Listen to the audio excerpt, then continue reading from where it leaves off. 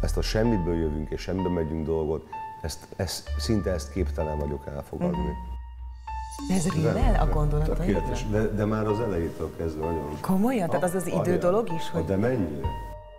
Abban nagyon szeretnék hinni, hogy én még fogok találkozni azokkal valamilyen formában, akik nekem fontosak. Mi volt, igen, amit valamit feltapott? Kirakom, ez az ördög. Ami a részletekben rejlik, ugye? Ó, hogy, hogy, hogy felpattant? Bizony, gyakorlatilag kiugrott a kezét Kiugrott közül.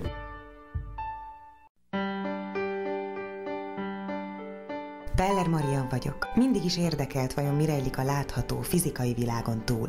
Mert hiszem, hogy a csodák körülvesznek bennünket, és hogy a legnagyobb nehézségek leküzdésével tanuljuk a legtöbbet. Létezik egy olyan világ, amiről valamiért még csak suttogva merünk beszélni. Lelkünkben őrizzük legmélyebb titkainkat, melyeket nem tudnánk épésszel megmagyarázni, ezért inkább úgy teszünk, mintha meg sem történtek volna. Mostanáig. Mindenki másban vagy máshogyan hisz. Van, aki szellemet látott, van, aki angyalokkal beszélget, de van, aki minden nap imádkozik, mert úgy hiszi segítséget kaphat. Minden műsorban egy ismert ember enged betekintést lelkének legféltettebb titkaiba. Beszélgetünk hitről, misztikumról és megmagyarázhatatlannak tűnő élményekről. Majd a beszélgetés egy pontján csatlakozik hozzánk egy avatott szakember, aki a szellem és lélek világában segít eligazodni, láthatatlan iránytűt adva az alany kezébe.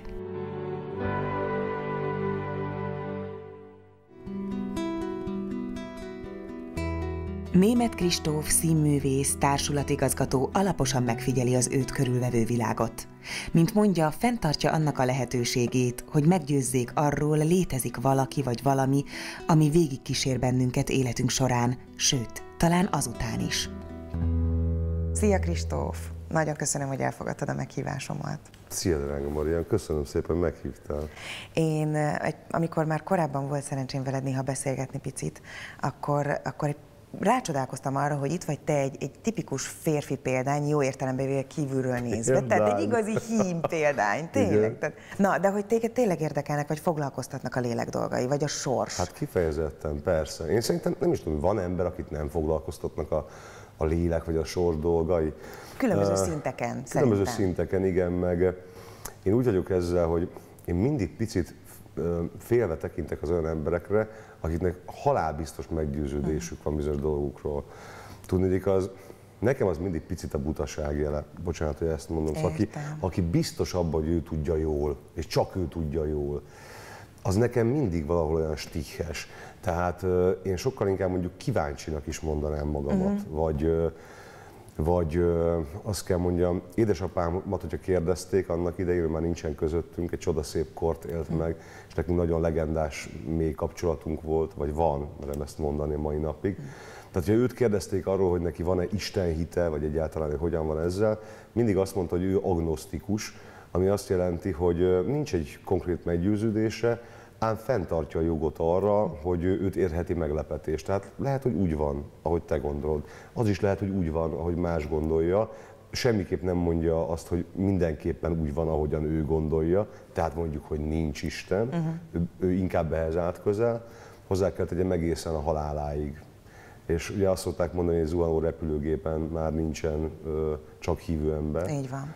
És amikor az ő repülőgépe zuhanni kezdett, tehát tudtuk azt, hogy, és ő is tudta azt, hogy, hogy közeledik az életének a vége, vagy ennek a földi életének a vége, akkor egészen meglepő újdonságokat mesélt nekem, az addig mindig racionális és sokkal inkább a, a, a mondjuk a tudomány talaján álló ember, ö, sokkal jobban megkapták, és, és, és, és, és elkapták lelkileg azok a dolgok, hogy, hogy tám mégis van túlvilág, tám mégis van utána valami, lehet, hogy, lehet, hogy az, az nem, is egy, nem is egy nagy pont az élet végén. Miket mesélt?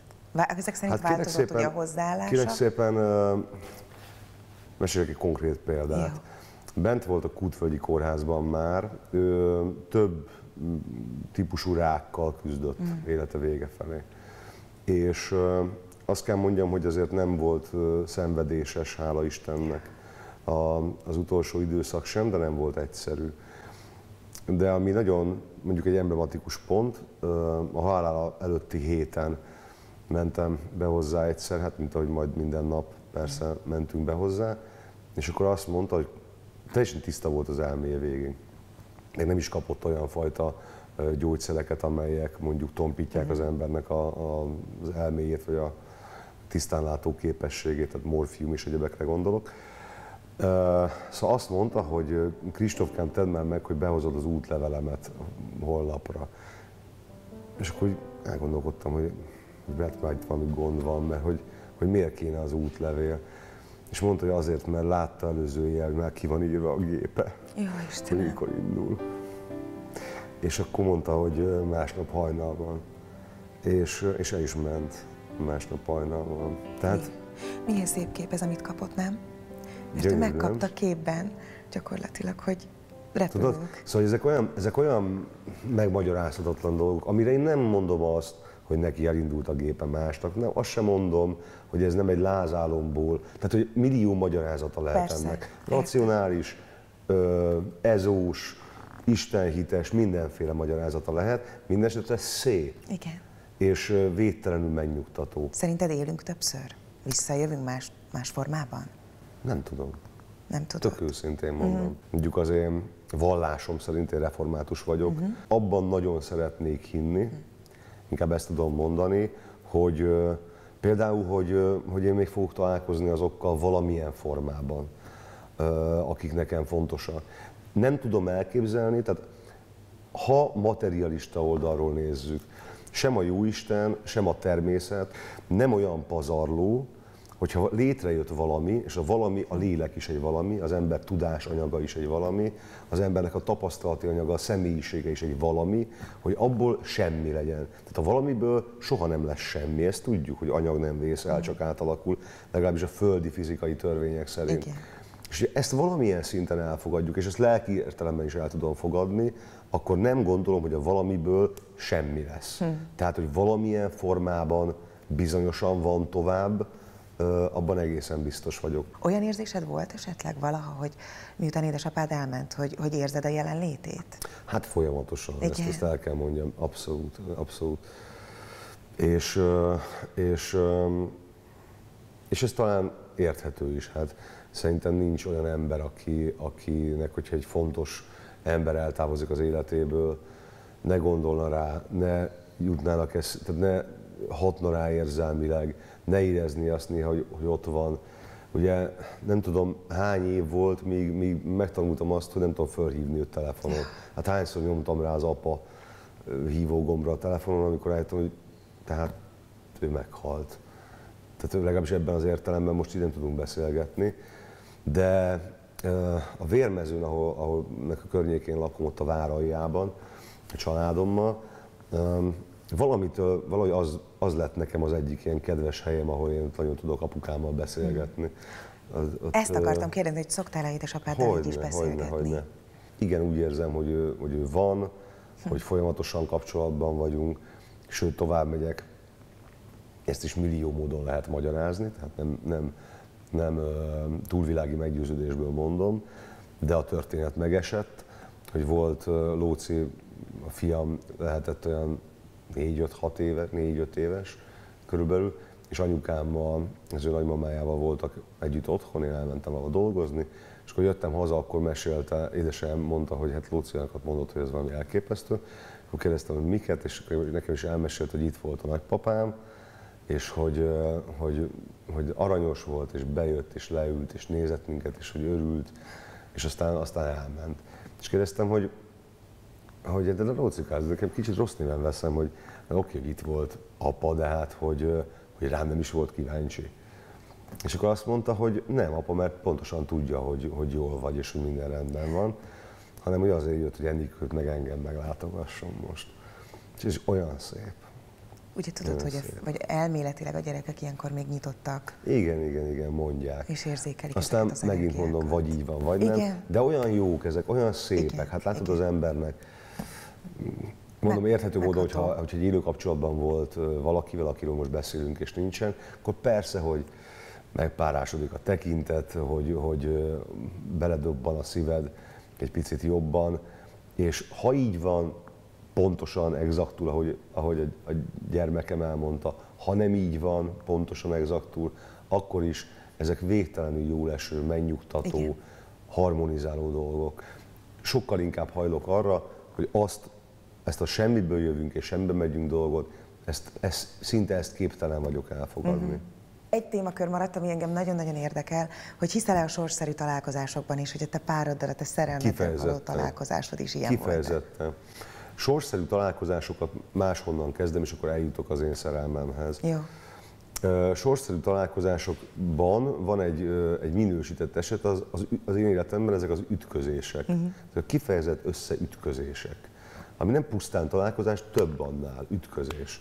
Hogy olyan 12-3 éves voltam, amikor a Városmajorban bringáztam, ez gyakori elfoglaltságom volt akkoriban, és effektíve összeütköztünk egy sráccal. Hogy tényleges ütközésről Igen, beszélünk. Szó szerint ütközésről beszélek. És ebből az ütközésből, ebből nem lett nagy baleset, nyilván ott elestünk, nem tudom, de nem lett komoly bajunk. Ellenben összeismerkedtünk, meg összehaverkodtunk ezzel a sráccal. Márknak hívják a fiatalembert. És és akkor lett egy ilyen, hát másnap is te mikor jössz le bringázni, én ekkor, és lett egy ilyen haverság. Egy haverságból lett egy ilyen kis pajtási barátság. És amikor először fölmentem hozzájuk, akkor megismertem az ő édesanyját, aki Földesi Margit, és a nagymamáját, aki Komlós Júci volt, ugye a nagyszerű színész, hm. nőkről beszélünk. Igen. És ezáltal az ütközés által lettem én a, a Földesi Margitnak az akkor abban az évben induló, akkoriban a színjátékországnak hívták, azóta sokat fejlődött ez, a, ez az egész kreativitás és készségfejlesztő stúdió, amiben a gyermekekkel, meg most már nullától 99 éves korig foglalkozik mindenkivel. A tanítványa lettem én Margitnak, és a növendéke ennek a stúdiónak, és ott indult el gyakorlatilag az, hogy Radnóti Színházban 13 évesen szerepet kaptam, mert gyerekszereplőket válogattak, és az a színház szag, szaszó minden, a legszorosabb értelemben megcsapott minket, amitől mind a hárman úgy gondoltuk, hogy nekünk erre a pályára kell menni. Ott álltam 22-3 évesen, friss diplomásként, és azt láttam, hogy hát kilátástalan Igen. a dolog. Másrészt meg úgy mindig többre vágytam, őszintén szóval, mint hogy nap, napjában 80-110 ember lásson engem egy színházban. Hogy az jó dolog persze, meg szuper, de hogy hát, talán picit, picit nekem, nekem máshol voltak az ambícióim uh-huh. már akkor is ilyen szempontból. Szerettem, hogy a többekhez lehet szólni.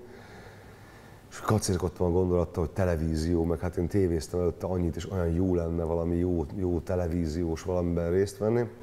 És rohantam a Liszt téren volt egy találkozón valakivel, és kanyarodtam ki ott a Nagymező utcából a Liszt tér felé, és egy sarkon befordultam, így összecsattantunk, összeütköztünk egy emberrel, elkezdtünk ott beszélgetni, és ez az ember volt a Kalamár Tamás, aki a, a Barátok Köznek a producere. Hmm. Ebből az lett, hogy Egyébként pedig te színész vagy, igaz? És mondom, igen, ez pont most keresünk egy ilyen karaktert, egy ilyen Kertész Géza nevű, hát nem is érdekes, majd elmondom, gyere be hozzánk szereplőválogatásra. Ebből lett több mint 13 év, ami, amit, amit én már sosem fogok egyébként levetkőzni bizonyos értelemben, mm. ezt a karaktert, ezt a dolgot, ami nekem nagyon sok szempontból megalapozta az életemet, Hogyne. egzisztenciálisan is, ismertségben, kapcsolatrendszerben, és hát egy csoda gyakorlatot kaptunk ott szerintem majd mindenki, akinek volt esze arra, hogy figyeljen arra, hogy ezt a szakmát hogy lehet megtanulni közben.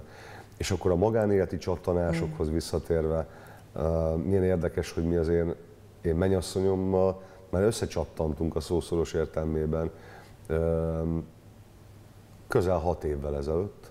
Tehát úgy hozta az élet, hogy vagy neki volt párja, vagy nekem volt párom mindig. Tehát sosem volt olyan periódus, hogy mondjuk mind a ketten magánéletileg szabadok lettünk uh-huh. volna. Hogyha az eddigi magánéleti kapcsolataimra visszatekintek, ez olyan tekintetben feltétlenül kivétel, és ezt ő is elmondhatja mindig, Zita, hogy ez nem úgy indult, hogy egy őrült mindent elsöprő szerelem rózsaszínköd. Mindent elsöprő szerelemről az a véleményem, hogy ahogy ezt a csodálatos magyar nyelvünk fogalmazza, az mindent elsöpör. Igen, ez így van. Gyakran saját magát Igen. is. Kristóf nyitottan állt a tarókártyához és Novák László asztrológus elemzéséhez, amely aztán igazi meglepetéseket tartogatott számára. Na hát így most helyek nélkül annyit tudok mondani, hogy egy változatos embert látunk, azért akiben sok érzelem van. Tehát az a, az a az a legtöbb benne, tehát az érzel, érzelmesség. Most lehet, hogy jó titkolod, nem titkolod, vagy tudják a kollégák, vagy nem, lehet, hogy biztos. Tudják szerintem. Tudják. Amúgy egy tüzes valaki vagy, uh-huh. tüzes valaki, aki viszont nagyon szeret, most ezért tudjuk, hogy ez egy más műsor, de nagyon szereti magát behatárolni, tehát nagyon jól tudom, hogy oldalt, előre, hátra, tudjam, hol vagyok, tudjam, mit csinálok, tehát szereti a struktúráltságot. Hm. A másik, hát egy nagy szívkirály vagy, amúgy. Mit jelent ez? Ez azt jelenti, hogy ez nincs a felszínen, tehát ez a tudatalatti minőség. Tehát valószínű, hogy kapcsolódásokkal kell neked itt operálni ebbe az életbe. Tehát, hogy nagyon sok olyan helyzetbe fogsz kerülni, amikor kapcsolatok jönnek, mennek. Most nem tudom, hogy jönnek, nem néztem utánad, tehát uh-huh. nem mhm. tudom. De ez fontos az életedben, mert itt is tudod az érzelmeket kerintetni. Tehát Itt most is. szerelmi életre gondolunk, vagy akár baráti szeretetről is? Ez, a, ez arra, ami benne van lehetőségként, mert ez a tudatalatti. Tehát ő ezt nem tudja élni, mert nem tud róla. Uh-huh. Tele van érzelmi tartalommal. Uh-huh és nagyon sok kapcsolati tényező van benne, tehát nagyon sok kapcsolati karmából kellett, hogy gyere, vagy amiket visszahoztál, hogy azokat most meg tud oldani. Hm. Igen. De ez egy, tényleg ez egy, ez egy erős kényszer arra, hogy mindig kapcsolódj. Tehát mindig valóban kapcsolódni akarsz. Így is érzem egyébként, meg, meg amit mondtál, nagyon érdekes, nem, nem pusztán az a része, hogy hogy kapcsolatok jönnek, mennek, hogy van, hanem vannak bizonyos dolgok, amik visszatérnek, vagy mintha már lettek volna, és most és még nem, nem, nem feldolgozott, vagy megdolgozott dolgokról van szó. Nem? Igen, ez egy kis bizonyíték lehet neked, hogy hát lehet, hogy azért még sincs vége egy uh-huh. életen belül a, a, az egésznek. Igen. Uh-huh. Ugye, mert hát akkor ez mitől van? Így van. Tehát valahonnan kell, hogy jöjjön ez az érzet. De jó. Igen, és ez egy magabiztosságot is ad. Tehát a, mindig, amikor jön egy ilyen, ó, aha, mintha ismertem volna, azért mégis kapsz egy magabiztosságot, hogy azért ettől nem kell félnem. Mert olyan kapcsolatoknál jön ez, amikor amiben valahol egy kicsit biztos vagy. De mondom, ez egy tudatalatti tartalom, tehát most ahogy beszélünk róla, így, így, így nagyon nehéz. De nem baj, mert egy picit akkor is érzékeled, és azt mondod, hogy meg tudod erősíteni Igen, ezt a részét. Hogyne, hogyne, és értem, amit mondasz. Igen, mert egy pszichológus se fog erről beszélni, hanem csak ő érzi, ő magába földolgoz, és ugye a látható dolgokat fogja neked elmondani. Köszönöm. Na most erről alapról fogok beszélni. Néha kényszeresen adsz. Meg... Várj, ez a vakfoltod, ez fontos, igen, ezt mondd el. Igen, tehát er, erről nem tudsz. Vagy nem, nem vagy tudatában? Hát nem vagy tudatában. Tehát azért mondom a kényszerességet, mert teszed anélkül, hogy mindig tudati kontroll lenne. Túl sokat adsz. Ez azért nem jó, mert ez egy érmék formában jelent meg, ami anyagiságot is jelent. Tehát pénzt jelent, anyagot jelent, kötődéseket jelent, nagyon sok minden. És amikor az ember ezt szórja, akkor már nem biztos, hogy jó egy idő után. Tehát ebből hm. valamit... Megdöbbentő, igen kicsit vissza kéne venni. Nagyon könnyű, mivel érzelmes, hogy úgy gondolom, hogy nagyon könnyen hozzád lehet kerülni. Tehát elég két jó szó, három mosoly, mit tudom, így félredobja valaki alját, és akkor ez már jó, ezt most csak így idézőjelesen mondom, és akkor te már adakozol, adsz, akarsz valamit neki nyújtani. Hmm. Ez jellemző, ez így van. Igen, és, és Igen de a hajtó erejéről nem tudsz, mert ugye ezért, ezért ez vak volt, te azt hiszed, hogy ez természetes. Hát ez egy benned lévő személyiségjegy, amit hozom. Így van, ez, ez, ezzel te születtél. Csak ott kell mindig megfontolni, amikor már vagyonodat adogatod, azért az nem biztos, hát hogy igen. jó. Mert biztos olyan is van. Tehát most ez... Tényleg? Kristóf, hát vigyázz már a kis cuccaidra. Nem, nem szabad. Nem szabad. De azért jó, hogy erről beszélünk, hogy oda fogsz rá figyelni. Ez így van. Ez így van. Vagy nagyon, nagyon is, nagyon is a elevenembe tapintottál. Igen, mert általában meg most az is lehet, mert ez nem kölcsön, mert az már, az már esetleg nem akarná, hogy tudjuk. Tehát ugye az egy tudati állapot. Ez most az az állapot, amit úgy csinálod, hogy csinálod, mert csinálnod kell.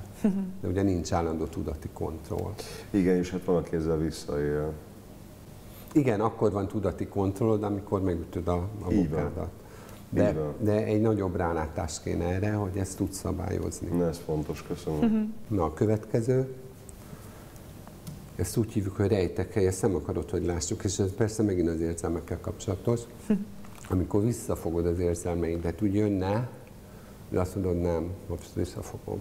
És akkor én azt nem tudom, hogy te visszafogod azt az érzelmet. Hát pont azért, amit mondtál, hogy már ütötted meg a bokádat egyszer-kétszer, és azt hiszed, hogy ezt el tudod rejteni, és tényleg el tudod rejteni. Tehát mi nem látjuk, hogy benned azért ott van az a kezdő impulzus, de nem, ez nem jön ki. Hm. Tedd meg vissza, azt mondod, hú, nem. Nem, de azért nem jó ez a, ez a hozzáállás, mert egyfajta lelkiismeret furdalást fog okozni, mert pont neki nem, meg tehát, hogy ez, ez egy ilyen belső vívódás. Itt érzek egy pici nehézséget, hogy hogy oldja azt meg, hogy ne adakozzon önkéntelenül túl, akár szeretetet vagy érzelmet. Igen, de a szeretetnél már nem, mert ez a kifejezetten az érzelmekre vonatkozik, ez az érzelmeknél. Az anyagiakat még szórja ugyanúgy, tehát mindent, ami jön, jaj, vigyeld, vidd a hűtőt. De ez, ez egy más, más, más dolog, tehát itt az érzelmeket fogja vissza. Még a hűtőt is látja. Mondd hogy most adtad oda a hűtőt valakinek. Hát röhögni fogtok. De komolyan? Ott maradt a játékszínben. Nem mondok Ez gyönyörű, imádom.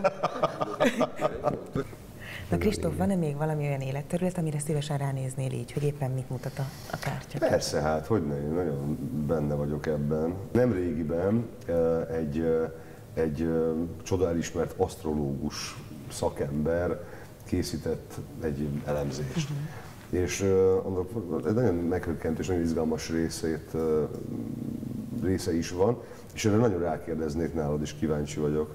Kíváncsi hogy te mit mondasz. Ez, ez, ez, Olyat ez kérdez, hogy igen, nem legyen a válasz. Nem, ez kifejezetten szakmai. És akkor a, a hogyan tovább a, a igen, szakmádban. Aha, igen. Azért fogok kilenc lapot húzatni, mert itt lesz három érzelmi rész, és ez fontos, mert Jó. egy érzelmi ember vagy, és akkor látjuk az érzelmi jelent, múltat, jövőt. Köszönöm. Jó?